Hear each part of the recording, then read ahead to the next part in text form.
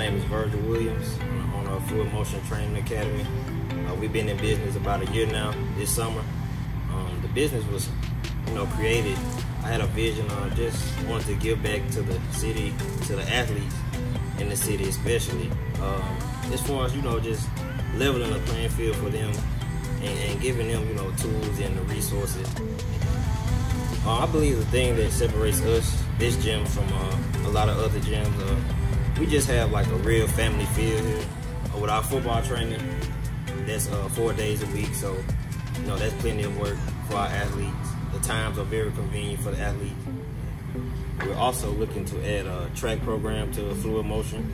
Uh, we we know that oftentimes uh, a lot of kids don't hear about how great they could be in the sport of track growing up as early as they do as far as football and basketball. So we also have the women's fitness side, which is ran by my wife, LaJoya Garner Williams, and Haley Edwards. And they both uh, come in here and do a great job with the women.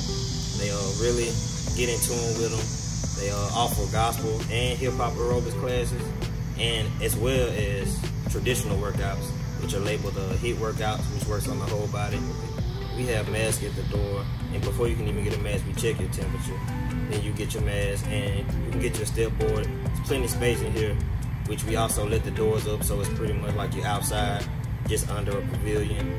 Um, and uh, we also have a, a, fantastic sound system with a hit with two headsets. So our trainers put the headsets on, and they not even not nowhere near six feet to you know they can be in the corner, give out instructions. You can still get the sound from the speakers on the wall. So I mean, it's pretty. It's a nice environment. You know, nice, clean, and sanitized environment. And we also sanitize everything after every session.